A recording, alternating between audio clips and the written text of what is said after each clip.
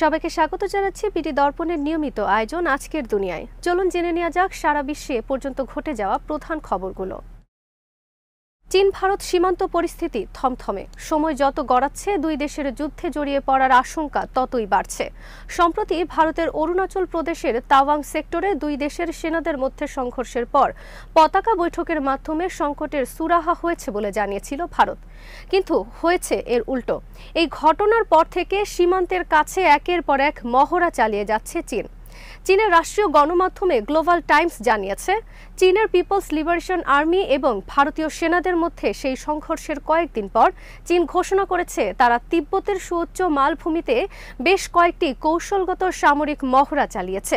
মহড়ার সবচেয়ে উল্লেখযোগ্য অংশ ছিল দূরপাল্লার রকেট আর্টিলারি ব্যবহার করে লাইভ ফায়ার শুটিং। বিশ্লেষকদের মতে, এই অস্ত্রটি এ ধরনের চ্যালেঞ্জিং ভূখণ্ডে অসাধারণভাবে কাজ করে এবং এটি দেশের সার্বভৌমত্ব ও আঞ্চলিক অখণ্ডতা রক্ষায় পিএলএ কে সহায়তা করবে। খবরে বলা হয়, জান্নাং এলাকায় বহু মাস ধরে শিবির স্থাপনের পর পিএল এর Xizang military command brigade minus বিশ ডিগ্রি সেলসিয়াস তাপমাত্রার তীব্র ঠান্ডায় পনেরো হাজার ফুট উচ্চতায় এই মহড়া পরিচালনা করে। ভারতের দিকে দূরপাল্লার রকেট আর্টিলারি তাক করে সিরিজ মহড়ার পর সীমান্তে সেনা মোতায়েন বাড়ানো হয়েছে বলে জানিয়েছে ভারত। দেশটির পররাষ্ট্রমন্ত্রী এস জয়শঙ্কর বলেছেন, চীনের সঙ্গে বিরোধপূর্ণ সীমান্ত এলাকায় নজিরবিহীন মাত্রায় সেনা মোতায়েন বাড়িয়েছে তার দেশ। তিনি বলেন, সীমান্ত অঞ্চলের স্থিতাবস্থা চীনকে একতরফাভাবে পরিবর্তন করতে দেবে না ভারত।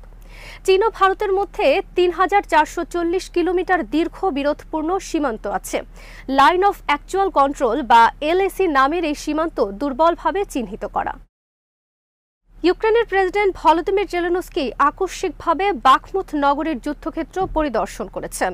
ওই নগরীতে ইউক্রেন এবং রাশিয়া কয়েক মাস ধরে তুমুল লড়াই চালাচ্ছে। জেলেনস্কি সেখানে সেনাদের সঙ্গে দেখা করেছেন এবং তাদেরকে পুরস্কার দিয়েছেন। বিবিসি জানায়, কয়েক মাস ধরেই বাকমুথ রুশ বাহিনীর গুরুত্বপূর্ণ নিশানা। এই নগরী দখল করতে পারলে ইউক্রেনের নিয়ন্ত্রণে থাকা ডনবাস অঞ্চলের সবচেয়ে গুরুত্বপূর্ণ নগরী স্লোভিয়ানস্ক এবং ক্রামাতোরস্কের পথ খুলে যাবে রাশিয়ার জন্য অবিরাম হামলায় নগরীটি মারাত্মকভাবে ক্ষতিগ্রস্ত হয়েছে, তবে ইউক্রেন বাহিনী, রুশ বাহিনীর অগ্রযাত্রা রুখে দিতে সক্ষম হচ্ছে। প্রেসিডেন্টের মুখপাত্র সেরহি নিকিফোরভ বলেছেন, জেলেনস্কি এরই মধ্যে নগরী ছেড়ে গেছেন। নগরীটিতে খুব কম বেসামরিক নাগরিকই এখন অবস্থান করছে। যুদ্ধের আগে সেখানে সত্তর হাজার মানুষ ছিল। রয়টার্স জানিয়েছে, জেলেনস্কি বাখমুতে ইউক্রেনীয় সেনাদের সাহস, সহনশীলতা এবং শক্তির জন্য ধন্যবাদ জানান। এদিকে বেনামে মার্কিন সূত্রের বরাদ দিয়ে বুধবার রুশ সংবাদ মাধ্যম আরটি জানিয়েছে, জেলেনস্কি ওয়াশিংটন সফরে যাচ্ছেন। এ খবরের সত্যতা বাইডেন প্রশাসন নিশ্চিত কিংবা অস্বীকার কোনোটি না করলেও অনেক মার্কিন সূত্রে এ খবর পাওয়া গেছে বলে জানিয়েছে আরটি। চব্বিশ ফেব্রুয়ারি রাশিয়া ইউক্রেনের সামরিক অভিযান শুরু করার পর থেকে জেলেনস্কি দেশের বাইরে যাননি। বুধবার মার্কিন প্রেসিডেন্টের সঙ্গে তার বৈঠক হতে পারে। আফগানিস্তানের সরকারি ও বেসরকারি বিশ্ববিদ্যালয়গুলোকে পরবর্তী নির্দেশ না দেওয়া পর্যন্ত অবিলম্বে নারী শিক্ষার্থীদের উচ্চশিক্ষার কার্যক্রম স্থগিত করার নির্দেশ দিয়েছেন দেশটির ক্ষমতাসীনরা। উচ্চশিক্ষা মন্ত্রণালয়ের মুখপাত্র হাফিজ জিয়া হাসামি বলেছেন, আদেশটি আনুষ্ঠানিকভাবে সব বিশ্ববিদ্যালয়ে পৌঁছে দেওয়া হয়েছে। তিনি বলেছেন, এটি মন্ত্রিসভার সিদ্ধান্ত। তিন মাস আগেই দেশটিতে হাজার হাজার নারী শিক্ষার্থী বিশ্ববিদ্যালয়ের প্রবেশিকা পরীক্ষায় বসেছিলেন। এরপরই নতুন করে এই নির্দেশ জারি করা হলো। গত বছর আশরাফ ঘানির সরকারকে সরিয়ে ক্ষমতায় বসে তালেবান। তখন থেকেই নারীদের শিক্ষার বিষয়ে নানা বিধিনিষেধ আরোপ করেন তারা। একই বছর বিশ্ববিদ্যালয়ে নারী পুরুষ শিক্ষার্থীদের আলাদা শ্রেণীকক্ষে বসার নিয়ম চালু করা হয়। আফগান নীতি বিশ্লেষক এবং গবেষক মহসিন আমিন টুইট করেছেন, বিশ্ববিদ্যালয় শিক্ষা থেকে বঞ্চিত লক্ষ লক্ষ মেয়ের জন্য এটি সত্যি বেদনাদায়ক। যুক্তরাষ্ট্র এই নিষেধাজ্ঞা জারির নিন্দা জানিয়ে এটিকে একেবারে অসমর্থনযোগ্য অবস্থান বলে অভিহিত করেছে। তবে সিদ্ধান্তের পক্ষে তালেবান বলছে, জাতীয় স্বার্থ এবং নারীদের সম্মান রক্ষার জন্যই এই নিষেধাজ্ঞা আরোপ করা হয়েছে। বেশ কয়েকজন তালেবান কর্মকর্তা বলেছেন, এই নিষেধাজ্ঞা অস্থায়ী। অর্থ সংকট কেটে ওঠা এবং ইসলামিক ধারায় পাঠ্যসূচি পুনর্নির্মাণের জন্য প্রয়োজনীয় সময় পর্যন্ত এটি স্থগিত থাকবে। ইরান ও ইউরোপীয় ইউনিয়নের শীর্ষ পররাষ্ট্রনীতি বিষয়ক প্রতিনিধিরা ইঙ্গিত দিয়েছেন, দুই হাজার পনেরো সালের পারমাণবিক চুক্তি পুনরুজ্জীবিত করতে চেষ্টা চালিয়ে যাবেন তারা। জর্ডানে উভয় পক্ষের বৈঠকের পর দুই পক্ষ এই ইঙ্গিত দিয়েছে। মঙ্গলবার জর্ডানের বাদশাহ Abdullah Baghdad conference for cooperation and পার্টনারশিপের আয়োজন করেন। এই সম্মেলনের সাইড লাইনে বসেছিলেন ইরানের পররাষ্ট্রমন্ত্রী হোসেইন আমির আবদুল্লাহিয়ান এবং ইইউর পররাষ্ট্রপ্রধান জোসেফ বোরেল। বৈঠকে আর উপস্থিত ছিলেন পারমাণবিক আলোচনায় ইরানের শীর্ষ মধ্যস্থতাকারী আল বাঘেরি কানি এবং ইইউর সমন্বয়কারী এনরিক মোরা। বৈঠকের পর বোরেল টুইটারে লিখেছেন, ইরান ইইউ সম্পর্কের অবনতির প্রেক্ষাপটে এই আলোচনা ছিল প্রয়োজনীয়। বৈঠকে রাশিয়াকে সামরিক সহযোগিতা প্রদান এবং দেশে নিপীড়ন বন্ধের উপর গুরুত্বারোপ করা হয়। তিনি আরও জানিয়েছেন, উভয় পক্ষ পারমাণবিক চুক্তি পুনরুজ্জীবিত করার জন্য আলোচনা চালিয়ে যেতে একমত হয়েছে। দুই হাজার আঠারো সালে যুক্তরাষ্ট্র একতরফাভাবে বের হয়ে যাওয়ার পর চুক্তি পুনরুজ্জীবিত করার জন্য অস্ট্রেলিয়ার ভিয়েনায় আলোচনা শুরু হয় দুই হাজার একুশ সালের এপ্রিলে। কিন্তু চলতি বছরের সেপ্টেম্বরে আলোচনা অচল অবস্থায় পৌঁছায়। ওই সময় পশ্চিমা কর্মকর্তারা দাবি করেন, তেহরান চুক্তির বাইরে গিয়ে দাবি দেওয়া করছে। অবশ্য ইরান এটি অস্বীকার করে আসছে। জাতিসংঘে প্রধানমন্ত্রী নরেন্দ্র মোদীকে গুজরাতের কসাই বলে মন্তব্য করেছিলেন পাকিস্তানের পররাষ্ট্রমন্ত্রী বিলওয়াল ভুট্টো জারদারি। পাক পররাষ্ট্রমন্ত্রীর এই মন্তব্যে খেপেছেন মোদীর দল, বিজেপির নেতারা। বিলওয়ালের মাথার দাম দুই কোটি টাকা ঘোষণা করেন উত্তরপ্রদেশের বিজেপি নেতা মনুপাল বনসল। এ নিয়ে মোদী সরকারের বিরুদ্ধে আবার সরব হলেন বিলওয়াল। তিনি বলেছেন, সীমা ছাড়িয়ে গেছে তারা।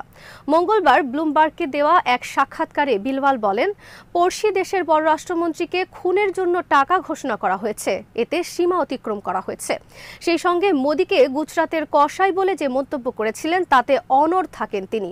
পাক পররাষ্ট্রমন্ত্রী স্পষ্ট ভাষায় বলেন, এটা ঐতিহাসিক সত্য যে তিনি গুজরাতের কসাই।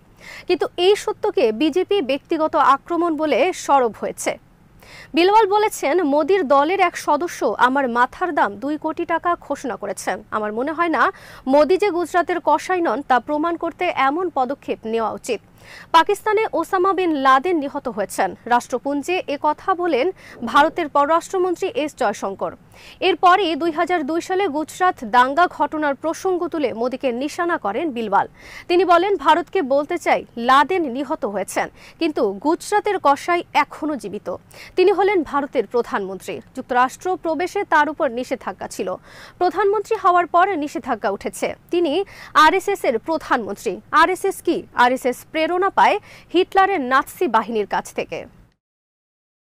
পাকিস্তানের কাউন্টার টেরোরিজম ডিপার্টমেন্ট বা সিটিবি কম্পাউন্ডে জঙ্গিদের জিম্মি থেকে তিন দিন পর মুক্তি পেয়েছেন নিরাপত্তা বাহিনীর সদস্যরা। তাদের মুক্ত করতে সেনাবাহিনীর স্পেশাল সার্ভিস গ্রুপ অভিযান চালায়। এতে সেখানে থাকা তেত্রিশ জঙ্গির সবাই নিহত হয়েছেন। ডনের প্রতিবেদনে বলা হয়েছে, খাইবার পাখতুনখোয়ার বান্ন বিভাগের সিটিডি কম্পাউন্ড মূলত একটি কারাগার। গ্রেফতার জঙ্গিদের এখানে রাখা হয়। গত রোববার বন্দীদের একজন এক নিরাপত্তা রক্ষীর অস্ত্র ছিনিয়ে নেওয়ার পর জঙ্গিরা কম্পাউন্ডটির নিয়ন্ত্রণ নেন। তারা নিরাপত্তা বাহিনীর বেশ কয়েকজন সদস্যকে জিম্মি করেন। পাকিস্তান পার্লামেন্টে অভিযানের বিষয়টি তুলে ধরে প্রতিরক্ষা মন্ত্রী খাজা মোহাম্মদ আসিফ বলেন, স্থানীয় সময় মঙ্গলবার বেলা আড়াইটার দিকে কম্পাউন্ডটির পুরোপুরি নিয়ন্ত্রণ নেয় স্পেশাল সার্ভিস গ্রুপ। সব জিম্মিকে মুক্ত করা হয়েছে। সিটিডি কম্পাউন্ডে তেত্রিশ জঙ্গি বন্দী ছিলেন। উল্লেখ করে তিনি বলেন, সব জঙ্গি এক গোষ্ঠীর ছিলেন না, বরং তারা নিষিদ্ধ বিভিন্ন সংগঠনের সদস্য ছিলেন। তারা সবাই নিহত হয়েছেন। তিনি আরও জানান, অভিযানে দশ থেকে পনেরো জন সেনা আহত হয়েছেন। তাদের দুজন মারা গেছেন। চীনে হু হু করে বাড়ছে করোনা সংক্রমণ। বাড়ছে ভাইরাসটিতে আক্রান্ত হয়ে মৃত্যুর সংখ্যা। ফলে একদিকে করোনা রোগীদের চিকিৎসা দিতে যেমন চাপ বেড়েছে, চীনের হাসপাতালগুলোর ওপর তেমনি মরদেহ সৎকার করতে গিয়ে হিমশিম খাচ্ছে শ্মশানগুলো। চীনের বেইজিং, চংকিং ও গুয়াংঝৌ শহরের শ্মশানগুলোতে মঙ্গলবার সারি সারি মরদেহ দেখা গেছে। শ্মশানগুলোর কর্তৃপক্ষ জানিয়েছে, সাধারণ সময়ের চেয়ে তারা এখন অনেক ব্যস্ত সময় পার করছেন।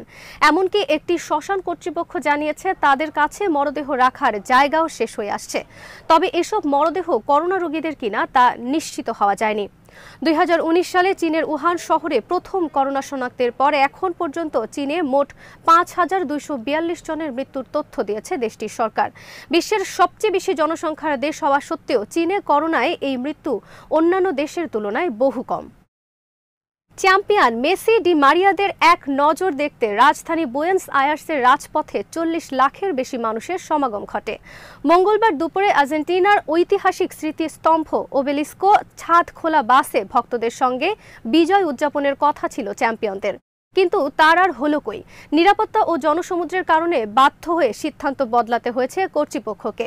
ছাদখোলা বাস ছেড়ে হেলিকপ্টারে চক্কর দিতে দেখা যায় মেসিদের। সিদ্ধান্ত বদলানোয় এরই মধ্যে ক্ষমাও চেয়েছে আর্জেন্টিনার প্রেসিডেন্ট কার্যালয়। সোমবার দিবাগত রাত দুইটা চল্লিশ মিনিটে বিশ্বকাপ জয়ী আর্জেন্টিনা দলকে বহনকারী বিমান ইজাজা আন্তর্জাতিক বিমানবন্দরে পৌঁছায়। বিমানবন্দর থেকে খেলোয়াড়রা চলে যান আর্জেন্টিনা ফুটবল অ্যাসোসিয়েশনের হেডকোয়ার্টারে। সেখানেই কয়েক ঘণ্টা বিশ্রাম নেন তারা। চ্যাম্পিয়নদের বরণ করে নিতে মঙ্গলবার সরকারিভাবে ছুটিও ঘোষণা করা হয়। সেই অনুযায়ী পুরো দেশ জুড়েই উৎসবের আমেজ। বোয়েন্স আয়ার্সের ঐতিহাসিক ওবেলিসকে এবং আশেপাশে জড়ো হয় লাখ লাখ মানুষ। প্রেসিডেন্টের মুখপাত্র গ্যাব্রিয়েলা সেরুতে থেকে জানান, এমন ভিড়ে বাসে করে খেলোয়াড়দের সেখানে যাওয়া অসম্ভব। বিশ্ব চ্যাম্পিয়নরা হেলিকপ্টারে করে প্যারেড রুটের উপর দিয়ে গেছেন। খবরে বলা হয়, স্থানীয় সময় বিকাল তিনটা ত্রিশ মিনিটে পুলিশের দল এবং ছাদখোলা বাসটি শামুকের গতিতে জনসমুদ্রের দিকে যেতে থাকে। একটি ভিডিও ফুটেজে দেখা গেছে, সমর্থকরা ফ্লাইওভার এবং ব্রিজ থেকে খেলোয়াড়দের বাসে ঝাঁপ দেওয়ার চেষ্টা করে। কয়েকজন নিচে পড়ে যায়। এক পর্যায়ে প্যারেড বাতিল করা হয়। দুর্ঘটনায় আঠারো জন আহত হয়েছে। আজ এখানে শেষ করছি। সবাই ভালো থাকুন, সুস্থ থাকুন, আর দেখতে থাকুন বিডি দর্পণ। চ্যানেলটি ভালো লাগলে সাবস্ক্রাইব করুন। সংযুক্ত থাকুন আমাদের ফেসবুক পেজে